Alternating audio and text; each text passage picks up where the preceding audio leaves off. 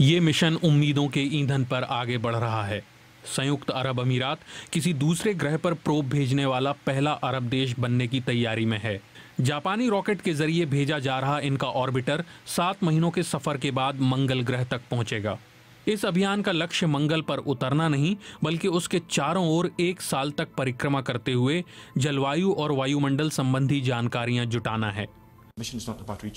हमारा मिशन मंगल पर पहुँचना नहीं है। इसका लक्ष्य बहुत बड़ा है।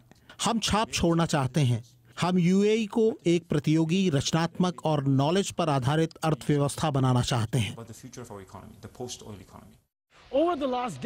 UAE अर्थव्यवस्था में विविधता लाने के लिए यूएई ने अंतरिक्ष से जुड़े अभियानों में निवेश करने की दीर्घकालिक योजना बनाई है। लेकिन ये मध्य पूर्व में अंतरिक्ष को लेकर मची होड़ के बढ़ने का भी संकेत है।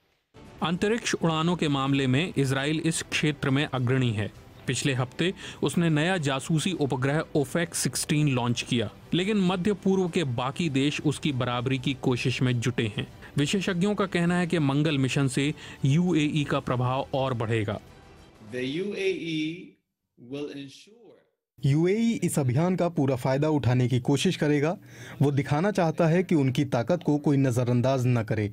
मुझे लगता है कि इसके बाद कोई देश यूएई की राय जाने बगैर क्षेत्र के महत्वपूर्ण मुद्दों जैसे कि ईरान से कोई सौदा करने पर आगे बढ़ेगा.